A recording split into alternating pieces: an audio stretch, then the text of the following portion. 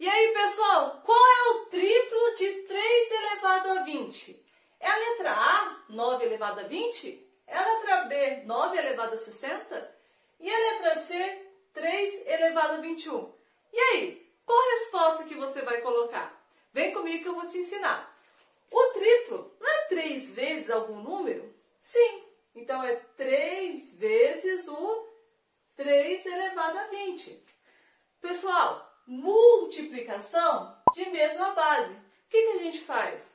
Repete a base e soma os expoentes. Como aqui não tem nada, quer dizer que é 1. Aí eu faço 1 mais 20.